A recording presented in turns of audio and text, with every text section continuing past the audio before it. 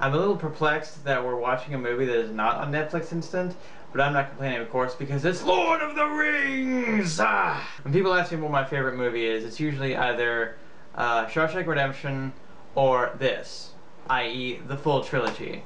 That may not be fair to have all, say that a whole trilogy of films is my favorite movie, but that's how I feel. It's really all one big movie. Unlike a lot of trilogies, Peter Jackson made three movies that were all one complete film project. Most trilogies, even if they're planned trilogies, are usually they make one movie and then they break up and spread to the winds and then they come back together and make another movie. But these, all three were made all at the same time.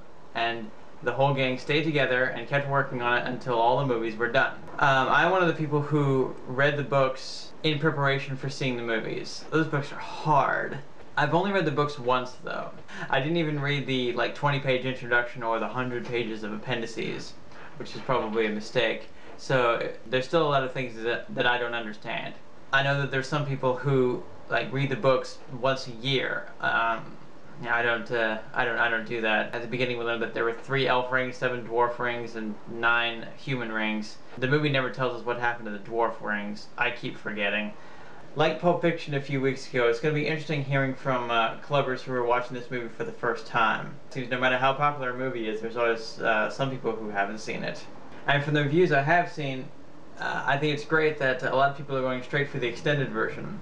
The theatrical version, which is still available, is certainly serviceable and gets the job done, but the extended versions are oh so much better. I have no idea how many times I've watched this movie, but just to give you an idea, um, my first year of college, my brother and I hosted uh, a movie watching party, whatever, that took place over three Fridays, and we made up programs for it, uh, detailing uh, and giving details about some of the settings and the cast and so forth, and I, met, and I had a whole thing with uh, all the pictures, and so that was a lot of fun, and we had snacks and everything, it was great.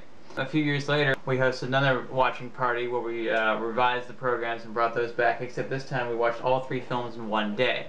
And like my brother, I don't really recommend doing that because it really stretches the attention span, and it's hard. It is hard to kind of take all the films and all the individual moments in. If you want to try it, go ahead.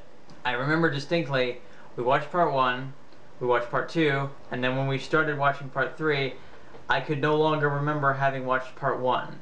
I knew we must have, but I couldn't remember the experience anymore. It was weird. And finally, last month, Fathom Events hosted uh, the three extended versions in theaters. As soon as I heard about that, I'm like, I don't care how much tickets cost, I'm there. I think one of the best things about the movie is the way Peter Jackson, the director, approaches the special effects. By this point, it's possible to create absolutely any fantastic environment or crazy creature or anything in the computer. The trick is to get the audience to believe that it's real. That's always been the trick, really, but uh, these days it's harder because now people know that you can make anything in the computer. This movie pulls that off at every turn. Even when it's, you've got, you know, giant monsters and wizards, even little things like, you know, tiny people interacting with big people. Um, every, um, every happening.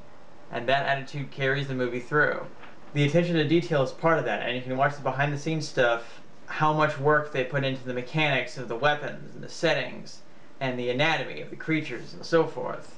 The biggest and most expensive special effects aren't worth shit if they don't complement the story and the characters and enhance the movie. If they're just there for their own sake, if they're just there to look cool, then people find it boring and they're not fooled. So for the movie club, this is Doug signing off. Oh, and I'm making a second video where I talk a little bit more about the extended versions and uh, discuss a new way I've discovered to watch them. So to watch that, click the box right here. See you there.